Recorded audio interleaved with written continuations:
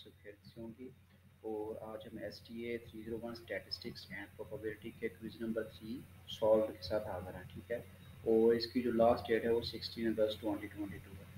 तो इन सॉल्व होंगे। तो क्वेश्चन नंबर फ़र्स्ट हमारे पास है। तो इसको जूम कर लें the hypergeometric random variable is an undefined है डिस्क्रीट वेरिएबल है कॉन्टीन्यूस वेरिएबल है इंडिपेंडेंट है।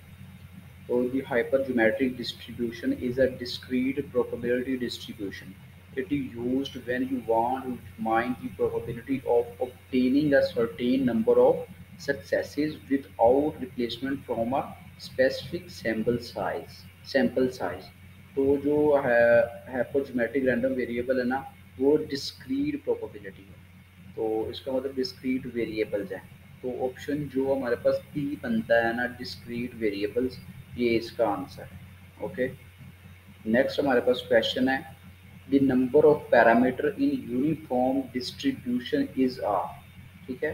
नंबर ऑफ़ पैरामीटर्स ठीक है? टू है फोर है थ्री है वन है। टू पैरामीटर्स है हमारे पास, ठीक है? और uniform distribution also called a rectangle distribution is the probability distribution that has constant probability. This distribution is defined by two parameters, a and b. is the minimum.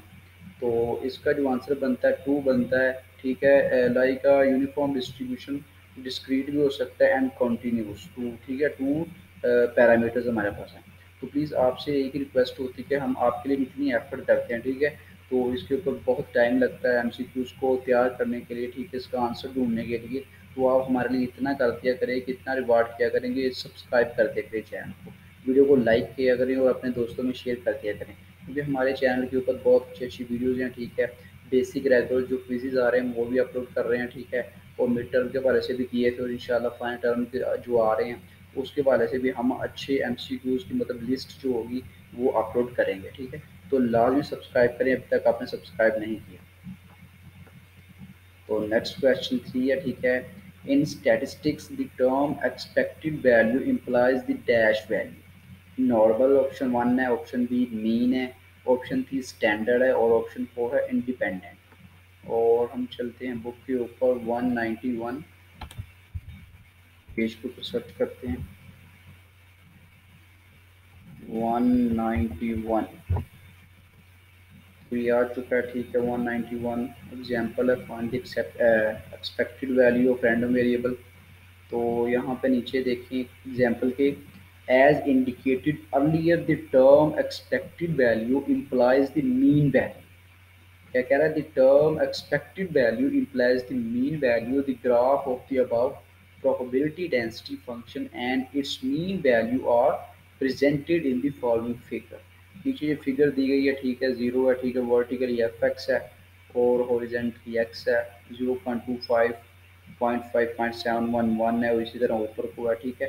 तो ई x की जो वैल्यू आती है ज़ीरो पॉइंट थर्टी थ्री है तो हमारा जो आंसर बनता है इसका जो हमसे पूछ है term expected value implies dash value तो मीन वैल्यू इसका आंसर बनता है। तो यहाँ पे ऑप्शन जो टू हमारे पास है, ठीक है मीन वैल्यू ये इसका hundred percent accurate answer okay next हमारे पास क्वेश्चन है what should be the type of both variable in joint probability distribution of X and Y both continuous है इधर बोथ कंटिन्यूस और बोथ डिस्क्रीट है one continuous and other discrete है both discrete है। तो हम पेज पे चलेंगे 194 के ऊपर।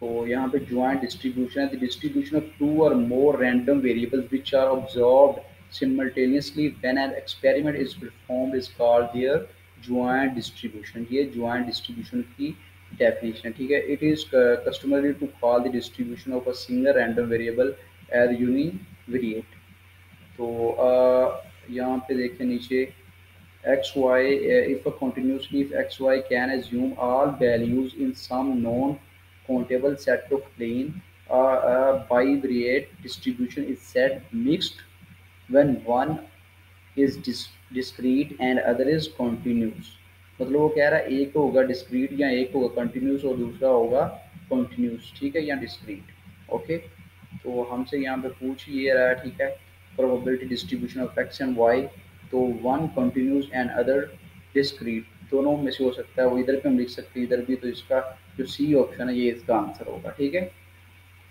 नेक्स्ट हमारे पास क्वेश्चन है the range of the binomial distribution is ठीक है? बायनोमियल डिस्ट्रीब्यूशन की रेंज क्या है? ऑप्शन वन है zero one two dot dot N है। Zero one two dot dot dot so on X है। वन टू ऑप्शन थ्री जो है एन तक जाएगा। और फोर ऑप्शन है zero one two and so on hundred तक जाएगा। लिमिटेड होगा लिमिटेड होगा एक्स वैल्यू तो पेज नंबर है हमारे पास। टू वन टू है, ठीक है? इसको सर्च करते हैं यहाँ पे। लेक्चर नंबर ट्वेंटी एट के अंदर, यहाँ पे जो मैं आपको बताता हूँ, जो हमारा क्विज़ जो आ रहा है, ये इसके अंदर ट्वेंटी फाइव से लेकर थर्टी लेक्चर तक कवर लगा I think five lecture cover है फाइव से सिक्स लेक्चर आप लेक्चर को पहले क्विज सॉल्व करने से एक दफ़ा देख लें, उनको रीड कर लें। तो आपके इंशाल्लाह जो क्विज़ हैं, इंशाल्लाह हंड्रेड परसेंट आपके क्विजेज सॉल्व हो जाएँगे, ठीक है? आप लाजमी लेक्चर्स को देख लिया करें, ठीक है? तो यहाँ पे बाइनोमियल है, ठीक है, इसको हम रीड कर लेते हैं। Binomial distribution P into X is equal to small X is equal to N over X P की एक्स और क्यू की एक्स एन माइनस एक्स तो N total number of trials है, ठीक है P probability of success in each trial है और Q है probability of failure in each trial P Q is equal to one minus P X is equal to number of success in N trials है. तो x is equal to है zero one two dot dot dot मतलब so on N तक चलेगा तो हमारा जो binomial distribution है, वो होगा ज़ीरो टू एन तक ओके और ये नीचे एग्जाम्पल्स भी हैं, इनको एग्जाम्पल्स को भी लाजमी देखें ठीक है ये ट्यूटोरियल्स को कैसे सॉल्व करते हैं, ये एग्जाम्पल्स आ जाती हैं पेपर्स के अंदर। तो हमारा जो यहाँ पे बनता है zero one two so on N one जो ऑप्शन है, ये इसका करेक्ट आंसर नेक्स्ट ऑप्शन पे चलते हैं in case of bivariate distribution covariance of distribution is represented e into x x minus ex dot ey e into y dot x minus ex dot ey e into y dot y, ठीक है minus E X dot E Y E X का square minus bracket E into X और इसका square ये square के लिए शायद use हो रहा है आई थिंक तो two zero six two hundred six page के ऊपर हम चलते हैं। इसको हम देख सकते हैं वहाँ पे।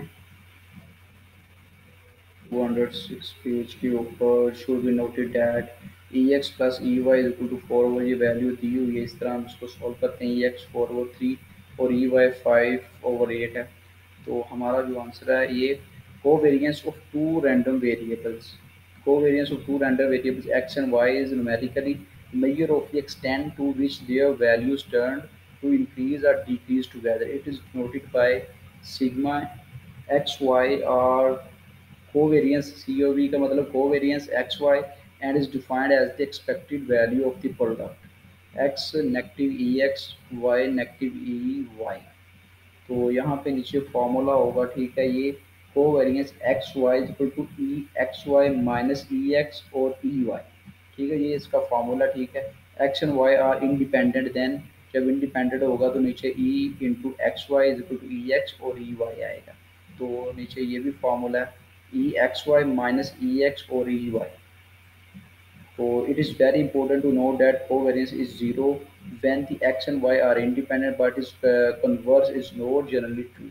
The conver uh, covariance of with itself is obviously its variance तो ये नीचे जो लाइन दी गई है अंडरलाइन की यहाँ से भी वो एम आ जाता है ठीक है? इनको भी ये में रखें तो यहाँ पे जो हमारा बनता है आंसर वो I think E into Y dot X minus E X dot E Y D वाला ऑप्शन इसका करेक्ट बनता है आई थिंक तो इन दी एफ़ ए थोड़ा सा जूम करने इसको नज़र नहीं आ रहा है. In the FA examination, 24 candidate offered statistics, statistics statistics if the probability of passing the subject 1 over 3, what will be the mean of the distribution?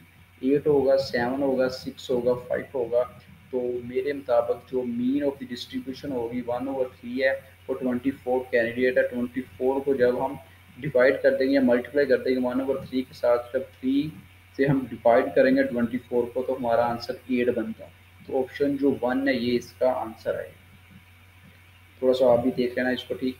Conditional distribution of a random variable X is obtain by dividing joint distribution of X and Y by the conditional distribution of Y marginal distribution of Y marginal distribution of X और none of the about है तो one nine five के ऊपर हम इसको देखते हैं। One nine five तो यहाँ पे कंडीशनल प्रोबेबिलिटी फ़ंक्शन है यहाँ पे, ठीक है? Let X and Y to be two discrete with joint probability function है then conditional probability function for x uh, given y is equal to y denoted as f x bar y is defined तो यहाँ पे नीचे भी है the conditional probability x i or y j is non-negative and adds to 1 on i and hence its probability function similarly conditional probability function for y given x okay तो इसका जो answer बनता है वो यहाँ पे conditionally distributed distribution of Y है, ठीक है? नेक्स्ट हमारे पास है the mean of the continuous probability function can be obtained by integrating the X है integrating the product X F X है multiplying the X by its function F X है integrating the function F X है। तो हम चलेंगे 200 page के ऊपर।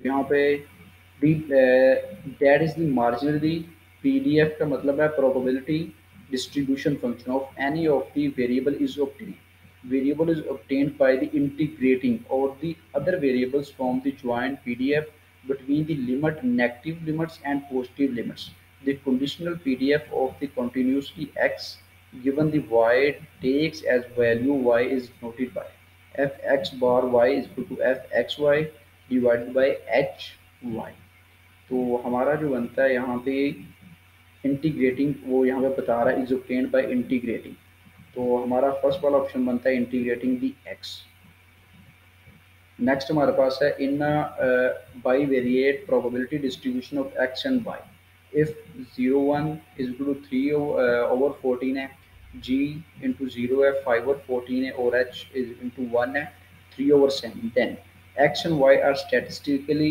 independent है and Y are not statistically independent है बोथ ऑफ़ दीज है नन ऑफ़ दीज है तो ये हमारा लास्ट ऑप्शन है। तो इसको देख लेना। इसका मैं आपको हंड्रेड परसेंट नहीं बता सकता। मुझे इसका नहीं आंसर मिला। तो and Y are statistically independent मैंने ये लगाया हुआ है। तो आप इसको देख लेना।